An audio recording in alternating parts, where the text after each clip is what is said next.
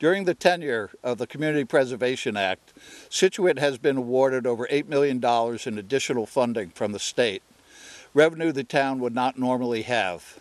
There have been over 20 land acquisitions for open space totaling over 360 acres in town, including most recently 4.8 acres of prime harbor real estate across from the mill wharf. CPA funding has resulted in completion of over 140 projects, including many historical and recreation projects.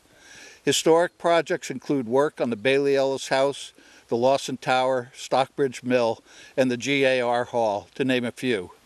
Recreation projects include several playgrounds, the Harbor Walk, fields at Cushing, parking at Roach Field, and the new high school sports complex. The high school project is instrumental in the town avoiding a Title IX lawsuit as well as fixing a non-MIAA standard track and field facility. None of these projects would have been funded without CPC. CPC funding for over $2 million was a requirement for the affordable elderly housing that is being built behind the Lawson Apartments. CPC projects are initiated by the citizens of the town, not by the committee as some believe. The committee fully vets each application to determine if it is an appropriate use of taxpayer dollars. The committee only approves or rejects applications brought to our attention. The purchase of the Mordecai Lincoln property is another taxpayer-initiated project that the committee supports.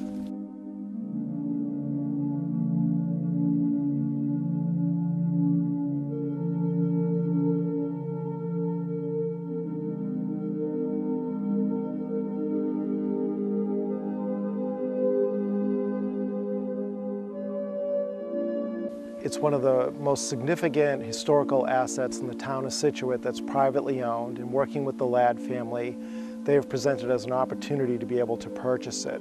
But it's much more than historic. So it sits on 5.6 acres of land. Uh, it really has two opportunities there. One, it's open space. So we've purchased hundreds of acres of open space west of 3A, but this is an open space purchase east of 3A. It's a beautiful property. It abuts the Gulf River and the Bound Brook. So we also think there are recreational opportunities, especially for things like kayaks and canoeing, is that we could have a safe place for these kayaks and canoes to launch and access the Gulf River. If you're ever driving along Gannett Road on a busy summer day, you'll see there's so many cars lined up trying to you know, get their kayaks off the trucks into the Gulf River. This would provide a safe, clear access. And then there's also opportunities for things like fishing, birding, nature walks, picnics, whatever, whatever you may have. So that's really the open space and recreational opportunity. And then from a historic point of view, there's the main house that was built by Mordecai Lincoln.